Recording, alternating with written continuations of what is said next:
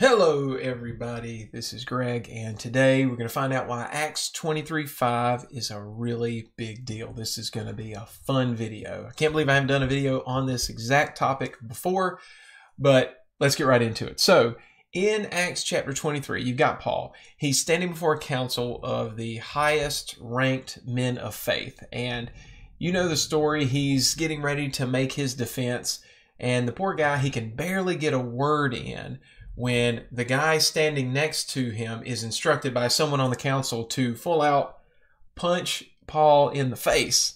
He can't even hardly get a word out. Well, Paul didn't know uh, who it was that gave the order. It turns out it was Ananias, who was the high priest at that time. Uh, but Paul didn't know that. He responded in anger, probably as you and me and everybody else would have too. And uh, he called the guy a hypocrite. He said, You are a whited wall. That's how it's worded in the ESV. and he said, God is going to strike you. Well, then he um, finds out that he's the high priest. Now, here's the thing even though the council and the leadership are corrupt, when Paul is told that it was the high priest who had him struck, he relented and he quotes this is what he does in verse 5 of that chapter. He cites Exodus 22 8, which is a commandment from the law of Moses, which says, Do not speak evil of a ruler of your people. Now, what does this say about Paul? This tells us that even though he's standing before uh, religious leadership, including the high priest, the guy who was responsible for knowing the commandments and teaching the people the commandments, but they're hypocrites. They are not practicing what they're preaching. Paul still publicly professes that he is going to do what they would not do, and he is going to live in accordance with the commandments. So, in doing so, Paul makes it crystal clear that he believes the Torah is still the truth and the commandments in the covenant are still binding. Now, the guy, he had every right to rebuke that man uh, for what he had done to him unless he was a ruler of the people according to the Torah. So, even in the heat of the moment, after being punched in the face when he did nothing wrong, Paul was able to keep calm and keep Torah. Now, in my years of walking with God, I have heard many people cite the Apostle Paul as their excuse for disobeying commandments of God. I don't believe I've ever heard anybody try to use something that Yeshua said, uh, Jesus, or Peter, or John, or anyone else to try to push that idea that we don't need to keep the commandments. It's always Paul. Even though, and let's get to some scripture, Scripture says things like Psalms 119, verse 89 Forever, O Yahweh, your word is firmly fixed in the heavens, meaning it can't change.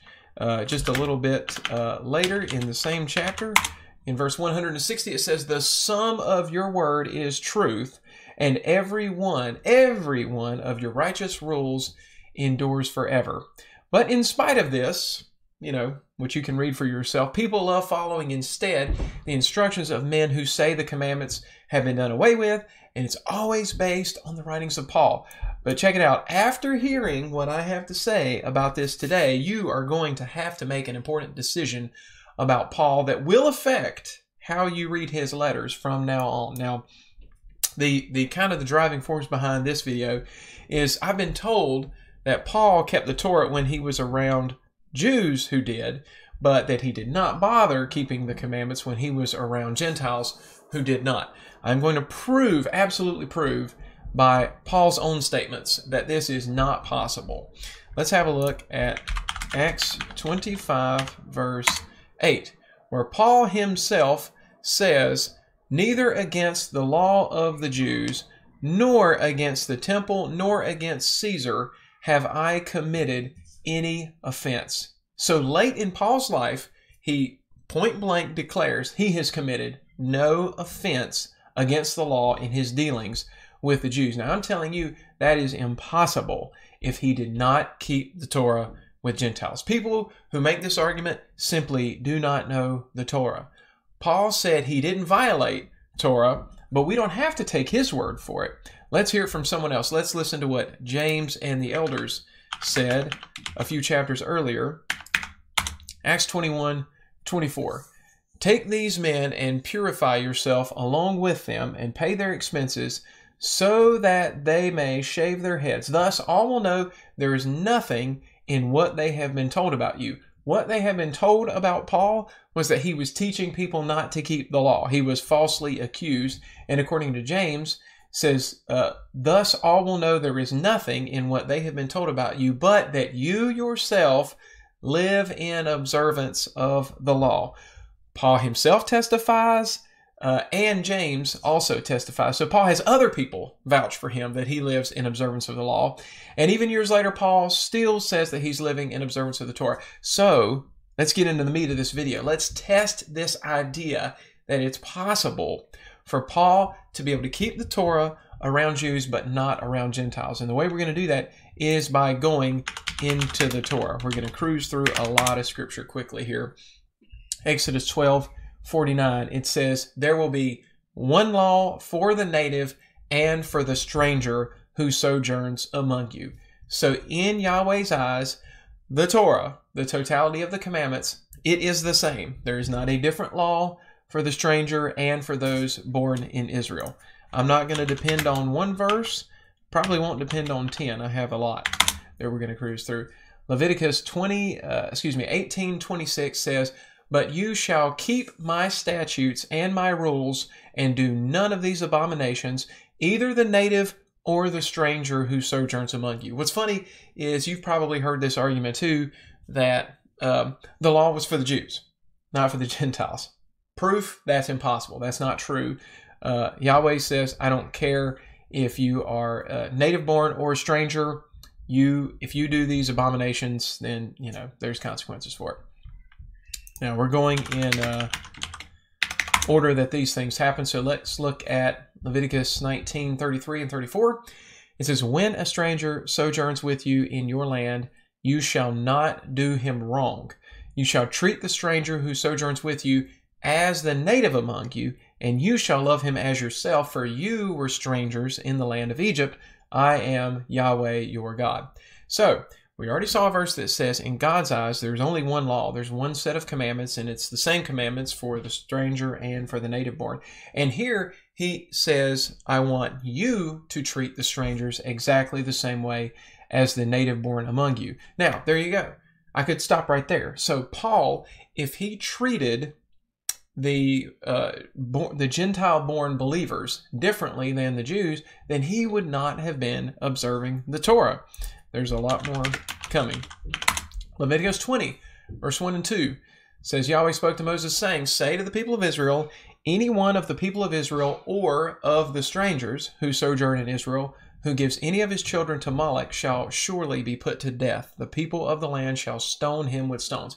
So Yahweh didn't care if you were uh, of the house of Israel or you were a foreigner, if you were caught offering your children to Moloch, then you were to be stoned. So this proves absolutely that uh, worshiping other gods was not okay if you weren't of the house of Israel. Uh, this is absolute proof that in Yahweh's eyes, he doesn't care. Um, the scripture is going to say that very clearly here shortly. Leviticus 25, 23. This is a big one. Uh, it says, The land shall not be sold in perpetuity, for the land is mine, for you are strangers and sojourners with me. So, even speaking to his own people, to the house of Israel, to the native born, he says, It's my land. Uh, Israel is not the land of the Jews. It is God's land. However, he says, You, even Israelites, are strangers and sojourners with me. So, if God considers his own people to be strangers and sojourners, then of course he would expect strangers and sojourners to be treated exactly the same. No different. Numbers 9:14. If a stranger sojourns among you and would keep the Passover to the Lord according to the statute of the Passover and according to its rule, so shall he do. You shall have one statute both for the sojourner and for the native. So Paul could not have treated them differently. He could not have kept the Torah around Jews and not kept the Torah around Gentiles because he would have been treating the people differently. But the fact is, Yahweh says there is only one law. Here is the verse that came to mind as soon as I started thinking about this. Point blank, Numbers 15, 15 through 16. For the assembly, for the, the church, for the congregation, that's what this word means, There will be one statute for you and for the stranger who sojourns among you, a statute forever throughout your generations, never changes. You and the sojourner shall be alike before the Lord. One law and one rule shall be for you and for the stranger who sojourns with you. So anybody who says that the law was for the Jews, have they have not been reading their Bible. Point blank, it says very clearly that the same Torah applied, the same commandments, the same rules, the same laws applied equally, whether you were, you know, physically descended from Israel, Jacob, or not. No difference. In fact, uh, scrolling down just a little bit in that same chapter, verse 29 through 31, Again, you shall have one law for him who does anything unintentionally, for him who is native among the people of Israel, and for the stranger who sojourns among them. But the person who does anything with a high hand, whether he is native or a sojourner, reviles the Lord, and that person shall be cut off from among his people, because he has despised the word of Yah and has broken his commandment. That person shall be utterly cut off. His iniquity shall be on him. More, more proof I mean, we're building a stack of proof that in Yahweh's eyes, it doesn't matter if you are a Jew or if you are a Gentile. Uh, if you are among his people, then you are required to live exactly the same way. It doesn't matter what your nationality is. Um, this even applies to things related to temple cleanliness. Numbers 19, which is the uh, famous red heifer uh, chapter. You always hear stories coming up in the news about them finding a red heifer in Israel.